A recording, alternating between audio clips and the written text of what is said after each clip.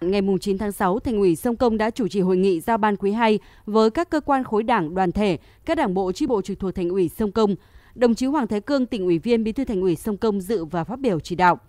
Trong 6 tháng đầu năm 2021, các cơ quan khối đảng đoàn thể đã chủ động bám sát chương trình kế hoạch công tác năm 2021 của Ban Thường vụ Thành ủy và của cấp trên, tổ chức thực hiện đạt được những kết quả tốt, tham mưu giúp việc cho cấp ủy chỉ đạo thành công cuộc bầu cử đại biểu Quốc hội khóa 15 và đại biểu Hội đồng nhân dân các cấp nhiệm kỳ 2021-2026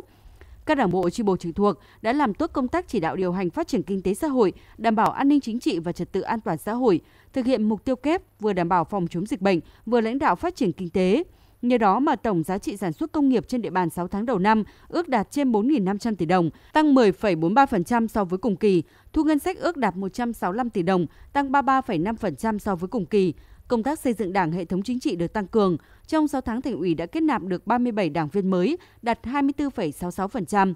Tại hội nghị đã có nhiều ý kiến phát biểu thảo luận của các đơn vị đề xuất với thành ủy những kiến nghị giải pháp cụ thể cho từng lĩnh vực để thực hiện tốt những chỉ tiêu phát triển kinh tế xã hội năm 2021. Thành ủy yêu cầu trong thời gian tới, Đảng bộ các xã phường tiếp tục quán triệt triển khai thực hiện nghị quyết đại hội Đảng các cấp gắn với chức năng nhiệm vụ phù hợp với đặc điểm tình hình, điều kiện thực tế tại địa phương, làm tốt công tác kiện toàn củng cố tổ chức bộ máy, cán bộ sau bầu cử, nâng cao hiệu lực, hiệu quả quản lý nhà nước trên lĩnh vực đất đai, đô thị, xây dựng bồi thường giải phóng mặt bằng, tăng cường chỉ đạo đạo làm tốt công tác phòng chống dịch bệnh, đảm bảo thực hiện mục tiêu kép vừa phòng chống dịch vừa phát triển kinh tế.